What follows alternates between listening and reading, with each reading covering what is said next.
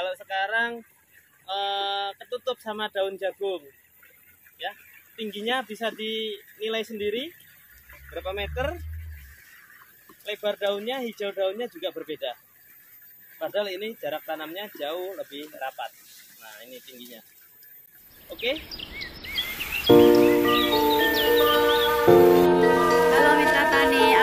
Assalamualaikum warahmatullahi wabarakatuh. Di lahan yang kesekian, masih di Blitar Saya mengunjungi lahan jagung. Eh, Ini adalah aplikasi lahan jagung. Tenggelam ya. Saya sampai tenggelam ini ya. Eh, Dengan menggunakan aplikasi 40% eh, pupuk kimia Dan aplikasi biosaka tiga kali ya Sesuai dengan SOP-nya Luar biasa eh, hasilnya. Kita lihat. Ini saya sampai tenggelam di sini nggak kelihatan batangnya besar-besar kemudian daunnya juga lentur-lentur eh, lebar-lebar begitu ya. Sementara dibandingkan dengan yang tanpa biosaka dan 100% kimia jauh berbeda ya. Kita lihat yang tidak menggunakan aplikasi biosaka seperti apa. Ikuti Hani Channel.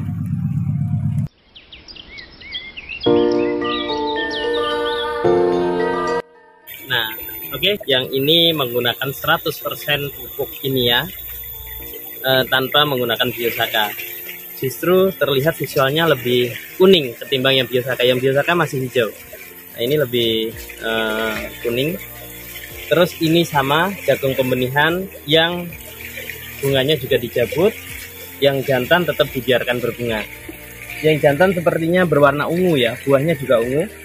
Nah ini nggak tahu kita varietas apa itu yang jantan, tapi yang jelas ini Avanta yang nantinya akan ditanam di berbagai wilayah dengan merek yang saya juga nggak tahu merek jualnya. Nah ini eh, 100% pupuk kimia dengan ketinggian yang jauh. Tadi kalau di sana saya Bu Hani itu tenggelam ya.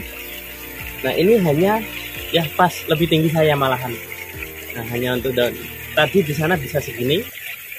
Nah ini cuman eh, lebih pendek apalagi ini ya hanya hanya segini nih hanya satu meter lebih di sana tadi satu setengah meter. Nah ini ini bisa disimpulkan eh, bagaimana dampak dari biosaka yang digunakan untuk eh, pertanian sudah bisa mengurangi pupuk tetapi juga tidak mengurangi hasil produksi. Itu yang paling penting.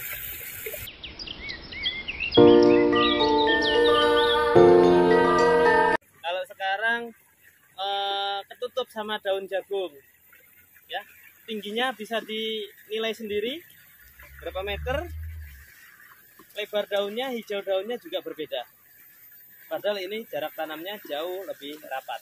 Nah ini tingginya. Oke? Normalnya jarak tanam jagung berapa kalau di sini umumnya 22 sampai 30 cm ada yang 27 ada yang 22 tapi kalau ini hanya belasan senti lah bisa dilihat. Populasi yang begitu rapat eh, terus satu lubang ada yang dua ada yang tiga tapi pertumbuhannya masih bisa sangat ini maksimal penggunaan pupuk 40% Mhm. ini bisa diperdekatkan ya jarak tanamnya sangat rapat dengan jenis varietas yang sama yang ada di sebelah. Itu jarak tanam sekitar 27 sampai 30 cm tapi ketinggian dari tanaman lebih bagus yang ini. Terus di sana banyak yang tongkol satu. Kita hampir eh, banyak yang rata-rata tongkol dua. Nah ini muncul-muncul lagi ya. Nah, ini jagung pembenihan. Eh, memang tidak begitu tinggi tapi ini lebih tinggi dari yang lain. Kenapa tidak begitu tinggi? Karena bunganya dijabut nah ini dijabut semua. Kecuali Pencabutan bunga yang waktu jantan. umur berapa? Jabut itu sebelum bunga keluar harus dicabut. Umur sekitar 50 hari kalau enggak 45 hari sudah pencabutan bunga. Terus yang jantan? Yang jantan tetap dibiarkan karena bunga yang dari jantan, nah ini jantan pembenihan memang pendek. Bunga yang jantan ini yang akan melakukan penyerbukan ke eh, jagung bunga betina. Ini untuk pembenihan memang eh, agak awam untuk eh, sebagian besar petani di seluruh wilayah Indonesia. Kalau di wilayah Blitar, Malang ini umum terutama di daerah eh, air yang cukup sawah irigasi ketika musim kering musim panas itu kebanyakan ditanam jagung pembenihan oke eh, jadi di sini juga eh, mungkin Hanik Channel baru pertama kali ya melihat Jari Tani juga melihat jagung pembenihan sama jagung yang tidak. Jadi Blitar ini bisa dikatakan uh, untuk areal sawah hampir mayoritas petani setelah menanam padi itu menanam jagung pembenihan uh, dari berbagai perusahaan. Ada semua ditanam di Blitar uh, khususnya di wilayah Talun terus di Slopuro tapi Talun kemungkinan yang terbanyak nah perbedaannya itu satu kalau uh, jagung pembenihan ini diambil untuk ditanam lagi harganya kontrak tapi kalau jagung yang uh, lokal biasanya itu dipanen untuk dikonsumsi. Nah ini F1 nya lah bisa dibilang F1 dia tidak begitu besar tapi penjualannya tongkolnya juga di ditimbang. Nggak ada bunga nggak ada isinya pun tetap dibeli sama perusahaannya. Itu yang yang uh, pengalaman kita di sini. Lebih menguntungkan mana bang pembenian sama uh, jagung konsumsi? Kalau masalah keuntungan itu sebenarnya relatif uh, tapi dengan penggunaan biosaka ini baik yang konsumsi maupun perbenihan kata petani sama-sama menguntungkan. Tinggal pilih yang mana karena dengan biosaka pupuknya irit yang hari ini mahal terus aplikasinya mudah yang biasanya makan waktu yang lama. Itu perbedaannya. Oke. Avanta ya varietas Avanta. Terus sekitar 60 HST ini malah justru menggunakan 100% pupuk kimia tanpa biosaka dan yang di sebelahnya Bang Angsar ini adalah varietas Avanta uh, HST-nya 60 menggunakan uh, pupuk kimia 40%, 40 dan aplikasi biosaka uh, sesuai dengan SOP. SOP sekitar tiga kali ya. Perbandingannya luar biasa.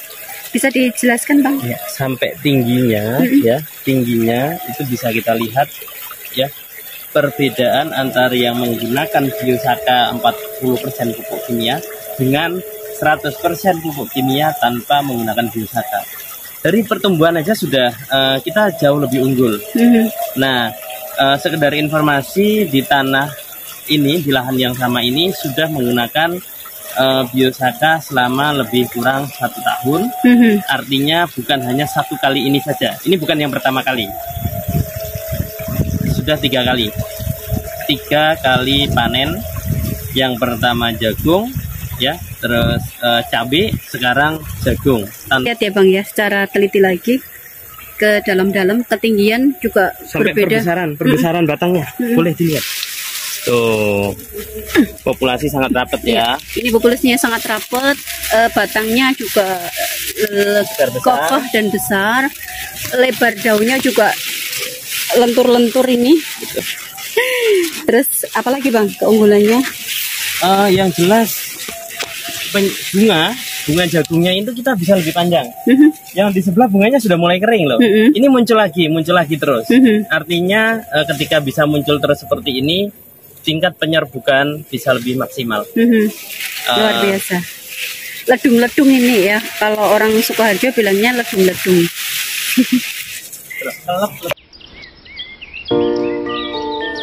Biosaka, yes.